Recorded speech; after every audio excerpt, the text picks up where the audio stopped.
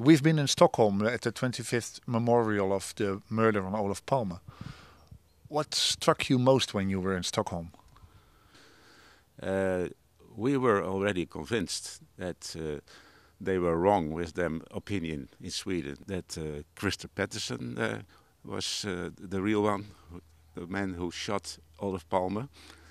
Uh, we experienced that there is no dog, you can say, in Sweden who believes that Christer Pettersson was the right one. In the last days, uh, Leif Persson concluded Pettersson can't have done it, he didn't do it, but there should come a new investigation or a new team.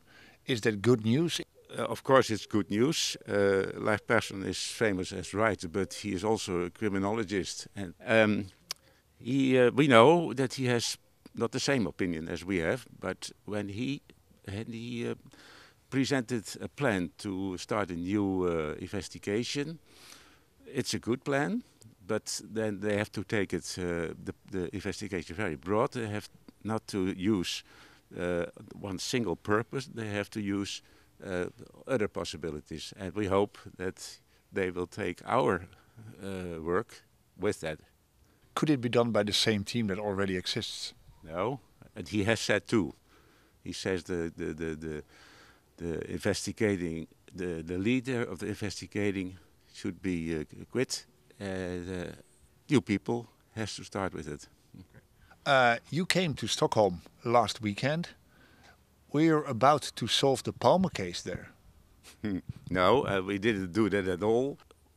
I myself was leader of the investigation to, uh, with the victim Mahmoud Bilgeli. When was he murdered? He was murdered in 1987 uh, that's one year after Olof Palme in Sweden. Um, the, the question kept on and kept on. Why was this man uh, the victim of a murder? Did you get to some kind of answer on that why question? Yeah, we made uh, in the first time we made an analysis, and then we st we started to investigate the analysis that there is a link between the murder case Bilgeli and the murder case Olof Palme. He has uh, given information to the Swedish police about uh, PKK involvement in Palme. But, uh, he uh, has been in Sweden. he has met uh, important people from PKK or in the, in the surroundings of the PKK. And we have investigated that he has told with them about the, the information he had uh, in the in the Olof Palme uh, in the PKK involvement in Palme. And uh, one of them one of the people he has met over there wrote a letter to me in that time in which he uh, said, uh, I know that PKK will uh, has be has murdered uh, uh, Palme. We met this man later and found and got a letter from him uh, that he has wrote, written earlier in which he warned the Swedish government that someone, let's say Palme, is going to be murdered by PKK. There already was a warning letter for the murder on Olof Palme. Um, did you show that letter lately to someone in Sweden? Uh, yes, the, the, the, the, remarkable thing of that letter is that the writer brought it to the police, but it stopped in his uh, hometown and it, it didn't arrive at the spot in Stockholm or, or in, in, uh, in Uppsala where it has to be uh, be uh, treat has to be dealt. So the the the letter hasn't got the the right um, effect. After 25 years, if people have a look at that letter, what what would their opinion be? Yes.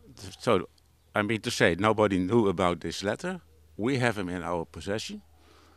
Uh, we showed it to inside people from the investigation and to some uh, other people who you could say are experts, uh, insiders too. And they were very, very surprised. Uh, even surprised about the content because uh, there were some special things in it that you, that you have never heard of. Would, you call this something like new facts that um, make uh, make it easier or make it better? So a kind of a new fact to say, well, we should go back to the trace at least uh, to have it checked. Yeah, because it's new for it's, it's new for them. Why why do they uh, think and say that the Kurds are innocent?